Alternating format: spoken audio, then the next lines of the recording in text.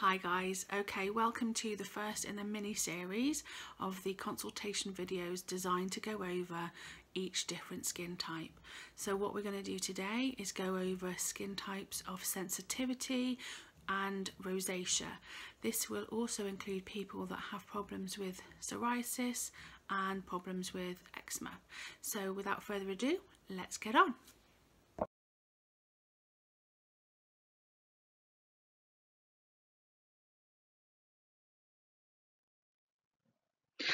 There are two ways mainly that you would have sensitive skin. One is a normal sensitive skin where you might be sensitive to products. You might be touch sensitive. When you touch your skin, it might feel a little bit irritated. Your skin feels quite uncomfortable and you may be heat sensitive. All of these fit into a normal type of sensitive skin. You also have sensitive skin issues where there are skin conditions. These are eczema, psoriasis, rosacea and other dermatitis type conditions. Generally they are very sore, they can be quite bumpy with acne underneath the skin. They can also be very flaky, very hot and very itchy. And all of these different types of sensitive skin need to be treated differently. So, there are many reasons why a skin can become sensitive. You may feel that you've been sensitive for an awful long time. You may have only just had a sensitivity. That might be to a product that you've tried and it's aggravated your skin in some way. Um, also, if you have more of a condition, you might be subject to Demodex. So Demodex is a mite that lives on the surface of the skin and people with rosacea, it's been known through a scientific study at a university that the rosacea on the surface of the skin is because the protective barrier function has been compromised by the demodex which live on the surface of the skin um, when they die they actually almost explode spilling out their contents this is what causes the irritation across the cheeks across the nose and in some cases across the whole face so it's also looking at bacteria and how you can combat that on the skin. So other reasons of being sensitive, you might have gone through a particular trauma that can cause sensitivity in the skin. So there's absolutely plenty of reasons why. Um, what we're trying to do is break it down a little bit more and try and combat that for you um, like I've said before, it, you don't need a list as long as your arm in order to do this. Less is more and let's keep it simple. So I will be going over different options. The point being that you would fit or choose something that fits you. You don't need to have every single thing in the list.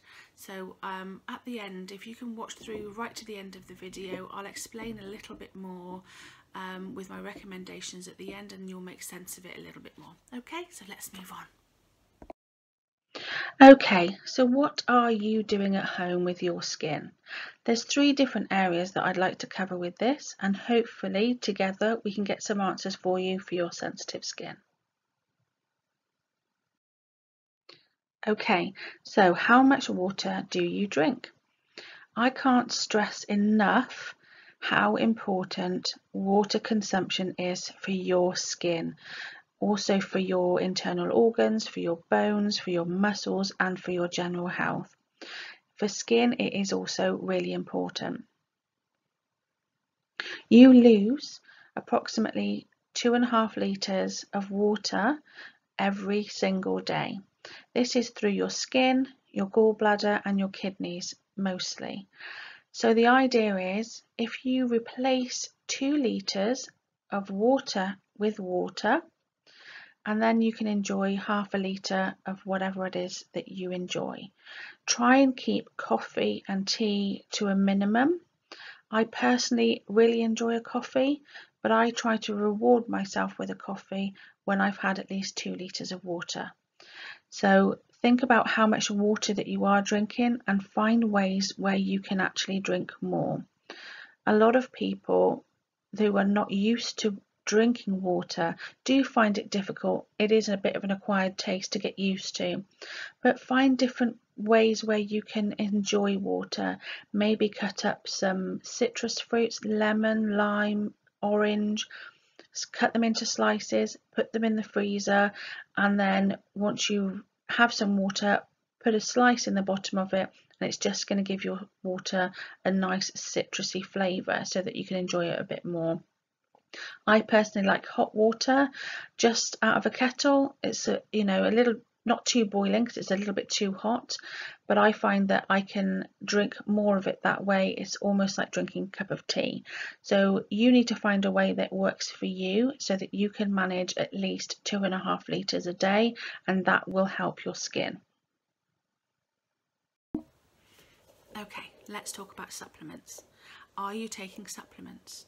If not why not everybody should take supplements. Your skin is your largest organ of your body and it can only get the nutrition that it needs through supplementation.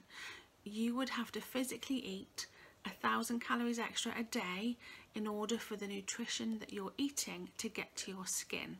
So obviously nobody wants to do that. So supplementation is really important. Also, if you consider if you have a skin problem there is a reason that you have a skin problem. If your skin cells was were getting the nutrition that they needed and everything that they needed to repair themselves, you wouldn't have a skin problem in most cases. So just something for you to think about. We will go in depth into supplements. Firstly, multivitamin and mineral as a base, everybody should have a multivitamin and mineral. This is going to cover all the essential B vitamins and iron and zinc and copper um, that you need for skin function. So it's really important to take a multivitamin and mineral. On top of that, for sensitive skin, the ideal thing for you to take would be omegas. Omegas bubble wrap your skin cells. If you find that you are drinking a lot of water but it actually isn't helping your skin, the likelihood is is because you need to have the omegas for the skin to hold on to the water. So think of it like bubble wrapping. You'll then be able to hold on to it and you've also got the essential omegas within the skin that will help to repair the cells and help get rid of the dryness, the itchiness and build the structure and strength back into the skin that you desperately need. So omegas is really important. Generally you can actually self-prescribe your omegas for most people one a day is absolutely fine and one a day of an amount of about a thousand to 1100 international units is absolutely fine for normal skin. If you're sens if you're sensitive, your skin is not normal at this time, so you need to take more. If your skin has psoriasis or eczema, which are dry skin conditions, then you need even more. So it would be my advice generally to have a look and self-prescribe. If you came into the salon, we would have a look at how severe your dry skin condition is and take it from there. Most people start off with two skin omegas but some do start off with four. You cannot overdose with these you'd have to have a pot a day so you don't need to worry about that if you have any questions obviously please put them in the comments below and I can um, we can do a consultation to go over it with you but that's skin omegas there's also Skin Vit C. Skin Vit C is really essential for sensitive skin. It helps to eliminate broken capillaries within the skin. It has rosehip in there, which is very healing, and vitamin C. Vitamin C is very key for repair and for collagen production to build up the strength and the structure back in the skin. Okay, sorry about that. I just needed a little breather and to get the next bit of information for you. So next we're going to look at the skin youth biome. Skin youth biome is concerned with treating the gut with probiotics. So it's a well-known fact that if your gut flora and your system isn't working properly, this shows up on your skin and can result in a lot of skin problems. So treating the gut is really, really important. So the Skin Youth Biome with the probiotics is not only going to help you internally, but it's also going to help you externally on your skin. Especially when, if we go back to rosacea skin, I mentioned the Demodex. Demodex release bacteria onto the skin so the probiotics is going to help as a barrier to minimize that. So I would really recommend the um, supplements for rosacea skin. Um, that with the omegas and with the Skin Vit C all three of those items together in salon have seen outstanding results in actually clearing up rosacea, getting rid of the soreness, the itchiness and the redness to calm down. It is a journey. It's not going to happen overnight. It's going to be months of, you know, investment in yourself, but you will definitely get there and it is really worth it. So that's my little advice for sensitivity on internal supplementation nutrition. Okay, on to the next bit. Okay, so here you have Skin Vitality 1, which is a broad spectrum of vitamins and minerals for everyday health. Taking a multivitamin also supports all the other supplements that you choose to take, so your body can absorb the other supplements that you would choose to take, whether that's turmeric, garlic, omegas, whatever it is. Taking a vitamin and mineral supports that process because your body can process the extra vitamins, supplements, whatever it is that you're giving yourself, an awful lot better when you're taking a vitamin and mineral. With Skin Vitality 1, you only need to take one a day and you get 60 capsules, which is two months worth. Then you have the Skin Omegas Plus. Plus meaning that you've got the added benefit of vitamin A in there, which is absolutely key for repair. Vitamin A repairs damaged DNA. So to have that in there is the added bonus which will help repair skin but also the omegas helping any dry skin conditions. So here we have the Skin Vit C. This leaves your skin light and bright and supports your normal blood vessels and capillaries. This then in turn gives you a more even complexion, helps to break down the pinkness of the skin because you're supporting the blood vessels. This also helps the cells from oxidative stress and helps the immune system. Then you have the Skin Youth Biome. As we've said previously, this is your probiotics for your gut, which then in turn helps the surface of your skin. In here you have five different strains of probiotics and within each capsule you have over 5 million. So it's much more advanced and is specific for skin health than other probiotics. Absolute key for rosacea skin types. Okay, let's have a look at what you're doing topically to your skin. Do you have a routine? Are you able to cleanse, tone and moisturise or perhaps wear serums and things like that? Or can you just not tolerate anything at all and all you're doing is water? So let's look at this in a bit more detail. Some people with sensitive skin will say they only do water. And while water isn't going to hurt your skin, it certainly isn't helping your skin at all. If you're only using water because your skin cannot tolerate anything at all topically on it, then continue to do that, but go back and look at internally, build your strength and your skin integrity by doing the nutrition internally first. Once you have this in your system for a few weeks, you'll then be able to start patch testing on basic products that you can then help your skin topically. So go ahead and do that first. Perhaps you are able to cleanse and you moisturise but you don't tone. A lot of people that do this process miss out toners for two reasons. One, because they believe it takes too long and two, because they've stung their face in the past.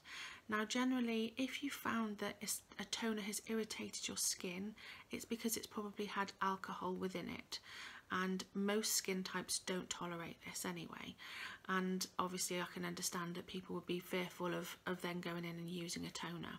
But a toner is actually really important within your regime to balance the pH of the skin. And as we've seen before in other previous videos, it takes seconds. So there's no reason really um, that we should be missing this out, only unless your skin doesn't tolerate a decent toner, which we'll go through shortly. Do you have um, an over routine where you're just completely over processing the skin. With sensitive skin, sometimes the skin just has no idea what it's doing because you're literally throwing too much at it. So really look at what you're doing and how necessary it is. If you've got a routine where you have loads of products in it but your skin is still aggravated, then strip it right back and go back to basics. Simple, cleanse, tone, moisturize nothing else. If you're finding that you're doing those steps and you still get a bit of irritation then let's look at the products that you're using. There's a difference between high street and salon products. Um, with high street there is a ceiling point of activity which is 16% even though that ceiling point is in there that doesn't actually always necessarily mean that that's what you've got. Also when brand marketing is concerned, sometimes simple just isn't simple and there's still aggravated ingredients within some of the simpler brands that is unnecessary that some sensitive skins just do not tolerate. So again, let's look at what you've got and try and find ways of improving what you've got. Um, again, go back to nutrition. Maybe, you know, just for a minute, build up a bit of strength from the inside and then try your products again. If you find that those products still are not being tolerated with the skin, then it's time to switch up and try something a little bit better. Also, I appreciate budget is a huge thing where people miss out products. Um, completely understand that, but actually I'll explain in a little while how actually we can target certain products that you can just pop into your routine to give a bit of a boost. And then when you've actually run out of one of your other products you can just replace it with something better later on. So you don't have to have all singing and dancing straight away. Nobody really has got the budget to just buy a whole range of skincare products. Let's work through it you know that works well for you so that you get the results that you would like to achieve again sorry just get the next bit of information for you. Okay the next point is do you wear makeup as well? Um, we have lots of daily um, aggressions on the skin anyway but also where products are concerned, there's an awful lot of chemicals in certain products. So if your skin is quite sensitive, look at the makeup that you're wearing. Does it contain a lot of chemicals or is it a nice, you know, um, mineral brand that is actually looking after your skin? So if your skin is really intolerant, really go back and have a look at how much makeup you're using and actually is it a good makeup brand again brand marketing out there will tell you that a lot of them are good out there with uh, my experience, a mineral makeup is much better for all skin types. I personally choose to wear that because I know I'm not putting extra chemicals on my skin and I can tolerate that. Um, I can't wear mascaras on the high street because I can feel the fumes on my eyes whereas I can wear a mineral mascara no problem at all. So there's that to consider also. Some brands that do stipulate that they are mineral aren't always mineral either. Not not a full mineral. So for instance, um, I don't know if this is still current, but there at one point L'Oreal, just to sort of name them out, um, they had a mineral brand of makeup. And if you look on the back of the packet, it says may contain titanium dioxide. Now titanium dioxide is the main ingredient in a mineral makeup. And if it may contain it, means it's not necessarily going to be in there. Um, the way they get away with that is it probably has talc in it. Talc is a mineral, but it's a mineral that blocks the skin and causes skin problems. So you don't really want to be putting that on your skin either. So education really is the key here and trying to be aware of exactly what you're putting on your skin and in yourself is really key. So let's look at this a little bit further in the next few slides. Okay. Here are my recommendations for cleansing the skin with sensitivity. First of all, we have for sensitive skin, we have the Essential Makeup Remover Milk by Germaine Capuccini. This is a really gentle cleanser. It's one that I personally use every day and is our top seller. Most clients enjoy this, but it's also suitable for delicate skin. It is made mainly from flower extracts. Um, they are the most active ingredients that within there with porcelain flower and global daisy extract. So it really helps to protect the skin and soothe and rejuvenate the skin. This would be recommended if your skin, I keep saying normal sensitivity, obviously sensitive skin isn't normal skin, but it isn't overly aggressed or you have a condition. So if you're just a bit sensitive, not sure where to go with your products, but want something that's gentle but effective, then this would be right for you. The other product we have I've titled for oversensitive skin. This would be for people that are going through radiotherapy, chemotherapy, can tolerate no products on their skin whatsoever, or um, have other conditions like psoriasis, eczema, this would be a cleanser for you. It's actually a cleanser and a toner in one, so you don't need to do the toning process whether you have this, as we've said before, less is more. So this is a micellar water gel which cleanses and soothes the skin. It removes makeup from the face and eyes and 100% of people that have used it have described that the sensation of itchiness and burning sensation is completely eliminated in the salon, I've had quite a few people with rosacea use this product and every one of them has described that their skin has been much better after it. So this would be my recommendation for you.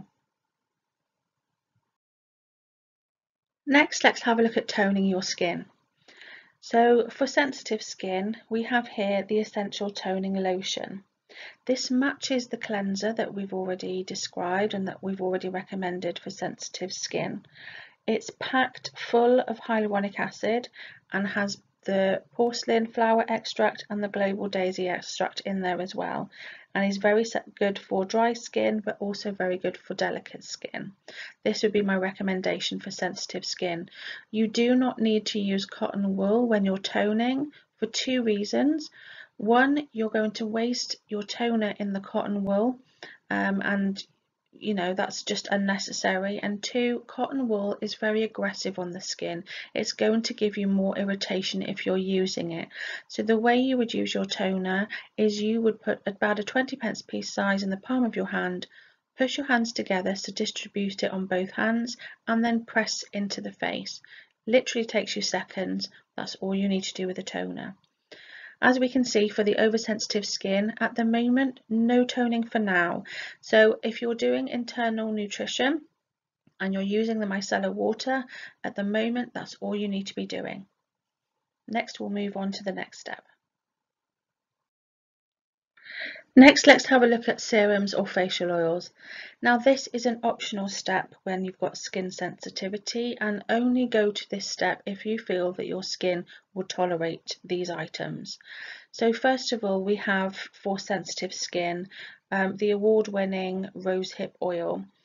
This is Germaine Capuccini's most top seller out of everything that they sell.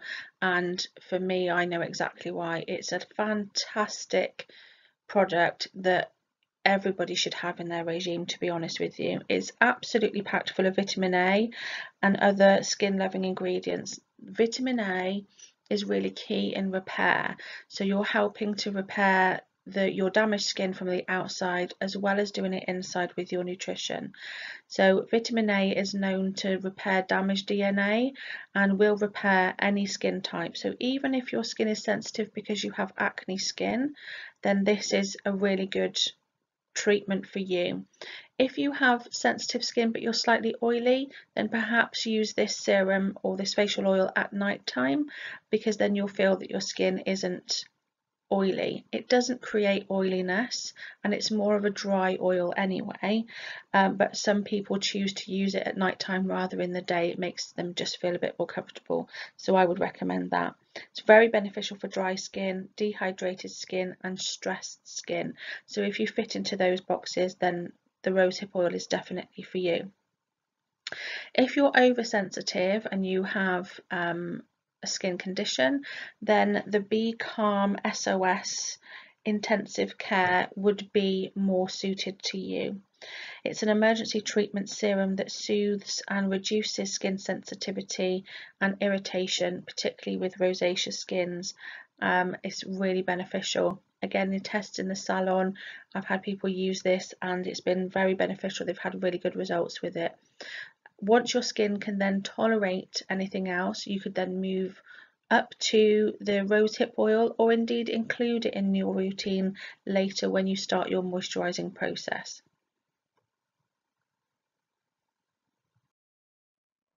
Okay, let's look at moisturising your skin now. Here for sensitive skin, we have the So Delicate range. The So Delicate range is a hypoallergenic range and contains a blend of natural plant extracts. Within that, you have rosemary, tea, licorice, chamomile and arnica which all soothe and calm the skin. They also contain corn oil which has a desensitizing effect in it. Most people with sensitive skin get on really well with this moisturiser. I've actually had people that are going through radiotherapy who have been expected their skin to break, which is a term given to them from their oncologist, where the skin is really affected that it starts to really peel off in different places near the site of radiation. However, when they've used the So Delicate range, the skin hasn't broken at all. Often the oncologist has remarked on how has that happened because it's never seen. So it's a fantastic natural cream that is tolerated by most people. So this is a really good one to have for any sensitive skin type. There are two different types. You have So Delicate Rich, which is seen in the picture here, which is more for dry skin. There's also Tolerance Care, which is more normal skin. On the other side of the slide, we have for oversensitive skin. This is another product from the Be Calm range. The Be Calm range is a range of dermocosmetics, which are all hypoallergenic, but they've all had clinical studies to deliver what they actually say they will deliver. So they have an exclusive skin biome repair formula which helps to rebalance the skin flora. So it's particularly good for those with rosacea. This is an anti-inflammatory cream which contains green pigments so it really helps to reduce the appearance of redness and it has a calm expert complex to reduce the sensitivity and irritation. It's also an SPF of 20 which is really important for all skin types particularly sensitive skin you must use an SPF. So you can use either um, of these products, they're suitable on either sensitive or oversensitive skin, either either, but you do need an SPF. So if you particularly suffer with rosacea, go for the oversensitive skin. If you have other skin conditions or what I keep calling a normal sensitive skin, then go for the tolerance care or the tolerance rich. Okay. Okay, so your last step in your topical application would be your finish. Now generally this would be for people a makeup application, however most importantly it is more your SPF protection. With sensitive skin, not a lot of people can tolerate a specific facial SPF because they're quite rich. They also have ingredients for anti-aging purposes. So when you have sensitive skin, my advice would be go for the mineral makeup. Jane Iredale mineral makeup, as you can see in the picture, have a few different bases that will suit different skins from the coverage that you feel that you would like to have.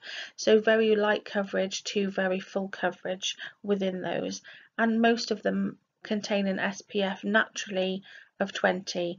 Now it's not an added ingredient in there because it's a mineral base, it's the mineral that gives the protection. So it's chemical free but gives you the protection that you'd like and an, as, as an added bonus a complexion that you're also happy with too because it evens out your skin tone. So that would be my recommendation for that. Okay, So now just a few other things for you to think about when you need to consider things that you can look at and change perhaps with your sensitive skin. So stress is a big factor for any sensitivity so look at ways that you can minimize that obviously that's it's people are really stressful at the moment um, whether it's work the current situation um, home we're all together um, and bef even before all of this you know there's an awful lot of stress out there. But try and find ways to manage your stress a little better. This will actually help your skin. Also look at your sleep pattern. Are you sleeping enough? If not, there's some really good apps that you can get out there with um, meditation, maybe little things that you can just listen to while you go to sleep or you know just find things that you can do whether it's have a nice hot bath um, some lovely products in there just to help to ease your stresses and help you feel a bit more comfortable so that you can have a nice restful sleep. This will really help your skin. Also sun exposure. Are you getting enough sun exposure? I know obviously we all harp on, on you know, staying out of the sun, but we still do need vitamin D. We still need to have that and it helps bring stress levels down. So, you know, find time where you can have half an hour, maybe even 10 minutes just in the garden, enjoying a little bit of sunshine, maybe with a cup of tea, um, just to help your stress levels. This will help your skin. And also when you're back at work, if that's you know part of your lifestyle. Look at your office pollution whether it's lighting whether it's the laser printers you know this is all going to have an effect on your skin. If you do work in an office my advice would be when you get home just cleanse your skin get rid of all of those pollutants um, and then that will help your skin also. Okay then we'll just pop on to the next step Okay then, so that's a whole heap of information that I've just given you and loads to consider, but obviously it's all within the video so you can rewatch this at any point and go back to any point that you need to to get the information that you need. So let's just do a little recap of everything that we've said so far. So first of all, we need to feed our skin within with the nutrition and nutritional supplements to help build strength and integrity back into the skin and get your systems working properly. Uh, and then there's the skin, obviously, which is your largest organ, the nutrition that it needs. So that's feed. Then we're going to fortify. Fortify with topical creams and treatment products that will also help your skin from on the outside. So you've got this two-pronged attack. You're tackling your skin from the inside and you're also tackling your skin from the outside. Then you have your finish. Your finish is your SPF most important really important obviously because of you know UVA and UVB B rays I beg your pardon. Um, your skin being sensitive you need to make sure that that is that box is ticked also. So obviously that's also with makeup um, if you want a nice complexion um, feel a little bit better without having heavy makeup then obviously the minerals is a much better choice there. So we have feed nutrition fortify topically with creams finish which is your makeup your SPF then we also have um, there we go. Sorry forgot. Um, so finally then look at improvements that you can make within your lifestyle that will help you. It doesn't have to be massive changes. Little changes make sometimes the biggest difference. So but there's lots of areas that you can have a look at that you know that perhaps you can tailor to suit you and to suit your needs. Then for future when everything is back to normal whoever knows what back to normal is going to look like.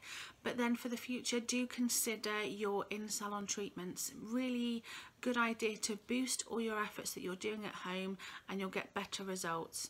Most salon treatments that you have when you go to the salon particularly with us well with me the treatments that I can provide for you are more concentrated than what you're doing at home so it's a real boost. And also together then we can bring in different technologies like LED that will really help your skin on a deeper level again to boost all the efforts that you're doing at home. So we have feed fortify finish. Finally look at um, lifestyle and then future is salon treatments.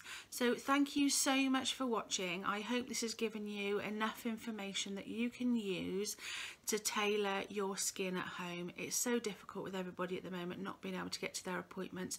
So I just thought I'd bring consultations to you. It's a very difficult thing for me to be able to put all the information across to you on a one-way conversation. So hopefully I've managed to tick a few boxes for you give you some food for thought that you can use to tailor anything that's right for you. So at all if you need any further help or assistance please feel free to message in the comment you know in the section down below we can have a one-to-one um, conversation where I can tailor it a little bit further because having your side of the conversation is obviously really important. But for now I hope that's really helped you. There will be some more videos because there's all different sorts of skin types that we need to go over. So for now thank you so much. Take good care of yourselves and I'll speak to you soon. Take care. Bye